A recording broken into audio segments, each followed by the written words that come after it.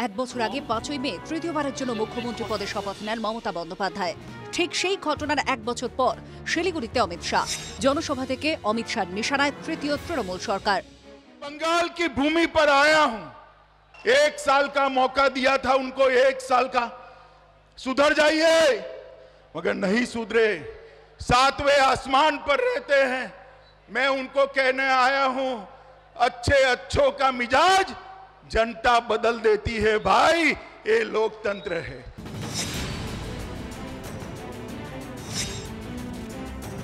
তিনশো আটাত্তর দিন পর বাংলায় এসে এখানে থামেননি নরেন্দ্র মোদীর সেনাপতি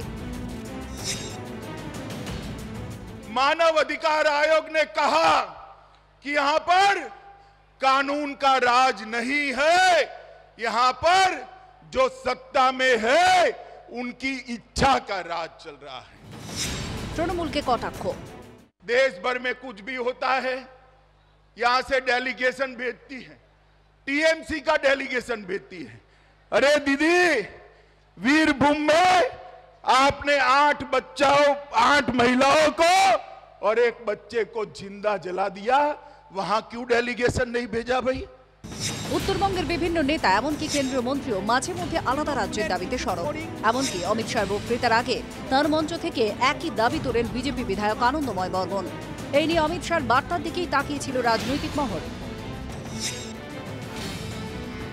यहां पर मेट्रो कॉरपोरेशन नहीं बनाया गया क्योंकि सिलीगुड़ी और जय जलपाईगुड़ी को मेट्रो न मिले और ममता दीदी आपकी पार्टी उत्तर बंगाल की जनसांख्यिकी को बदलना चाहती है, यहाँ पर बहुलता बदलना चाहती है। हम बदलने नहीं देंगे, घुसपैठ को होने नहीं देंगे, आप ये समझ कर चलना। সবকিছু ঠিকঠাক চললে লোকসভা ভোট এখনও কম বেশি বাইশ থেকে তেইশ মাস বাকি। তবে রাজনৈতিক মহলের বক্তব্য উত্তরবঙ্গে দাঁড়িয়ে প্রায় দু বছর আগে ভোটের দামামা বাজিয়েই দিলেন মোদীর সেনাপতি। সাংবাদিক সম্মেলনে শাহ নিয়ে প্রশ্নের মুখে পড়তে হয় মুখ্যমন্ত্রীকে। এসব জবাব জয়প্রকাশ মজুমদাররা দেবে। একদিকে শাহী অভিযোগ নিয়ে অবস্থান স্পষ্ট করে দিয়েছে তৃণমূল। শাহী আক্রমণের জবাব। এটাও তো মানুষের পকেট কাটা হচ্ছে। সে টাকাটা কোথায় যাচ্ছে? সতেরো লক্ষ কোটি টাকা?